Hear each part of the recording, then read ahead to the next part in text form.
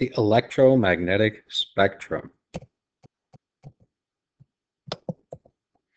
First of all, what is an electromagnetic wave? Um, it's literally exactly what it sounds like. It's a traveling wave of electricity and magnetism, electromagnetism, electricity, magnetism. We see electromagnetic waves as light. How fast do electromagnetic waves move? Um, electromagnetic waves move at the speed of light because they are light. Um, it's not a coincidence that it goes the speed of light. It is light. Uh, the speed of light in a vacuum is 3.00 times 10 to the 8th meters per second. It's really fast. That's 186,000 miles per second.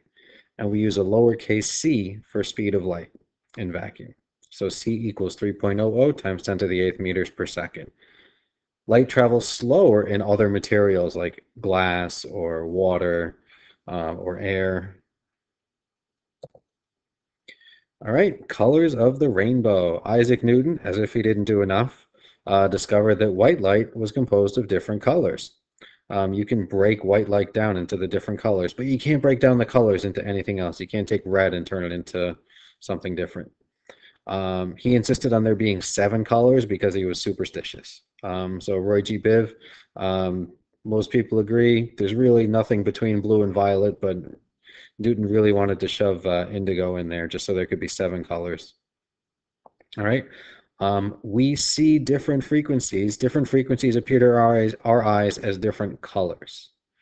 Okay, so red light is the lowest frequency light, then orange is second lowest, then yellow, green, blue, indigo, and violet light is the highest frequency. Okay, so when we see different colors, we just see the same thing, but different frequencies. All right, now I'm going to tell you about one of the craziest experiments in all of science. Um, in 1800, this is William Herschel. Um, he, he's building on uh, what Newton did. He wanted to discover which color of light carried the most heat. Okay, if you sit out in the sun, you know that you can get hot just from sitting in the sun. Light carries heat. You want to know which color had the most heat. So he sends the light through a prism and placed a thermometer in each color.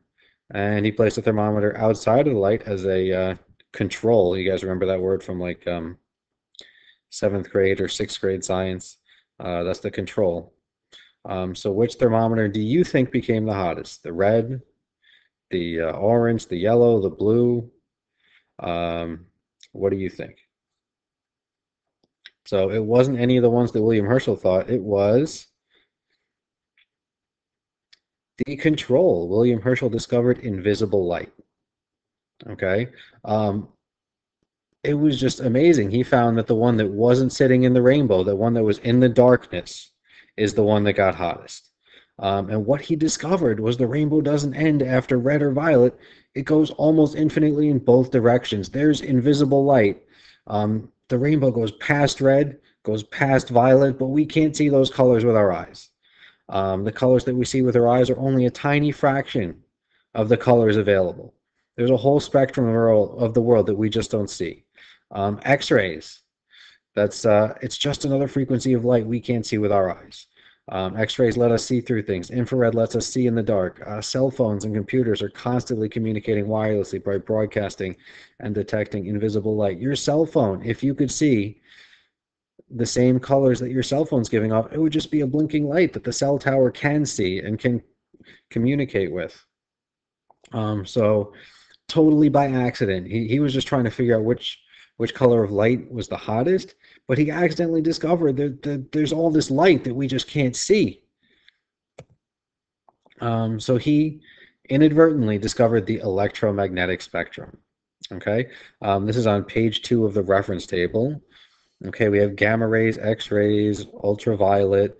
Um, this tiny sliver here, that's what you see with your eyes. Okay, um, and we see the uh, visible light here, violet, blue, green, yellow, orange, red, which is uh, VIBGYOR.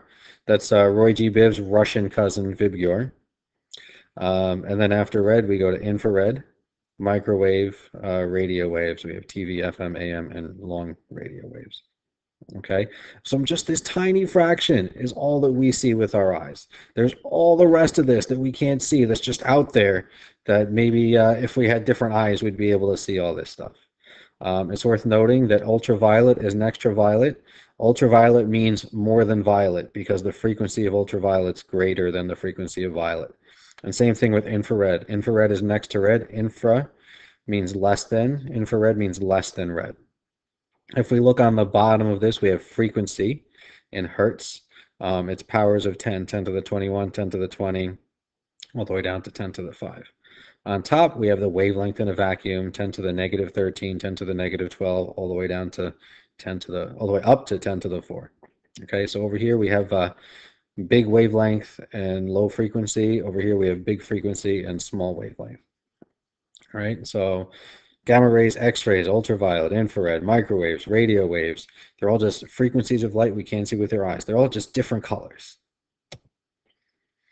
All right, um, so here's some questions. What type of EM wave is the following? 500,000 hertz. Um, that's 5 times 10 to the 5. So all you got to do is you got to find 10 to the 5 hertz. That's uh, right here. Uh, that's a radio wave. You could put long radio wave if you want. Okay, um, this one's 5 times 10 to the minus 9 meters. So meters is wavelength. Hertz is frequency, meters is wavelength. So we go to wavelength. We go find 10 to the minus 9, that's right here.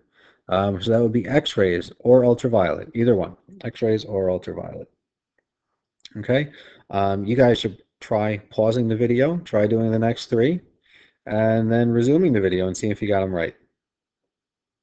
Okay, uh, 3 times 10 to the 13 hertz, we find our 10 to the 13 hertz, that's infrared. All right, 2 times 10 to the 14 hertz, 10 to the 14, 10 to the 14, that's infrared also.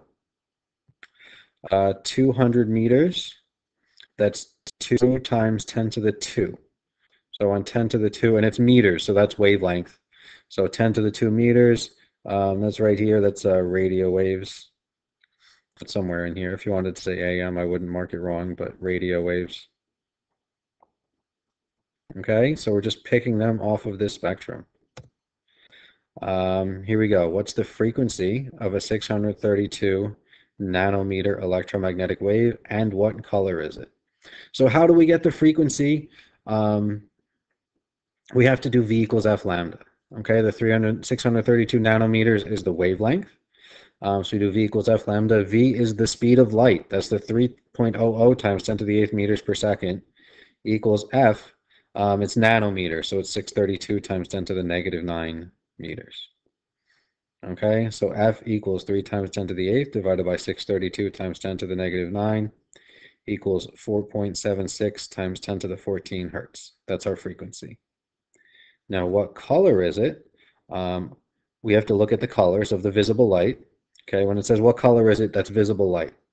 Okay, these are all 10 to the 14, so we have to find 4.76. So um, Red is between 3.84 and 4.82. And guess what? 4.76 is between those two numbers. So it would be red. Okay. Um, why don't you guys try this one? What's the frequency of a 500 nanometer EM wave and what color is it? Uh, please pause the video and try it. And when you resume, we'll go over the answer. All right. Um, so this one, same thing as the last one. We solve for f It's 6 times 10 to the 14 hertz, and the color is green.